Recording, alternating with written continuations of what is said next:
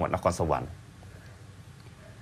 หลายๆเรื่องครับมีการพูดคุยกันนะครับที่จังหวัดนครสวรรค์ในการประชุมคณะกรรมการจังหวัดหัวหน้าส่วนราชการประจำเดือนธันวาคมในห่วงปี 64 ข้ามมาปี 65 ในการวางแผนหลาย ๆ เรื่องด้วยกันนะครับ ซึ่งในคราวนี้เองคุณชยันศิริมาศผู้ว่าราชการจังหวัดนครสวรรค์เป็นประธานการประชุม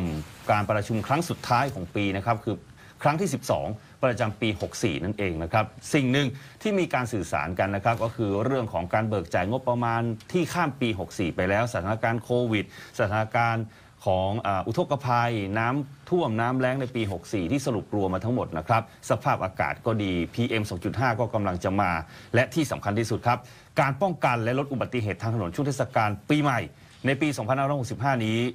การฉลองวันเด็กแห่งชาติจังหวัดนครสวรรค์ซึ่งต้องมีการวางแผนในขณะนี้แล้วในปี 65 เองเนี่ยการแพร่ระบาดของโควิด -19 เป็นเช่นไร จะมีการขีดอาณาเขตในการจัดงาน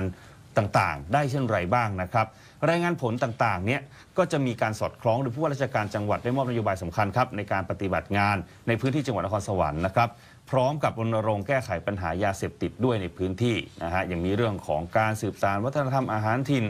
รางวัลการประกวดการออกแบบตัดเย็บเครื่องแต่งกายซึ่งทั้งหมดทั้งมวลนี้นะครับก็จะโยงไปกับเรื่องของการป้องกันการแพร่ระบาดของโควิด -19 พื้นที่ด้วย อันนี้ก็จะเป็นเรื่องสรุปของคุณชยันศิริมาศในห่วงปี 2564 ข้ามมาค่ะปี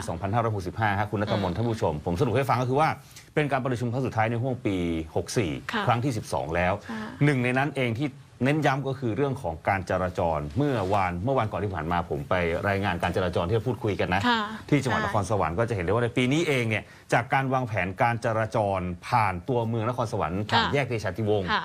สัญจรได้คล่องตัวมาก อาจจะมีกระจุกตัวบ้างในบางพื้นที่ก็จะใช้วิธีการปรับเปลี่ยนเรื่องของไฟจราจรคุณนัทมนต์อืมค่ะปิดไฟจราจรใช้บุคลากรในการเอื้อมในวยความสะดวกแทนนะครับอืมนี่แหละฮะค่ะ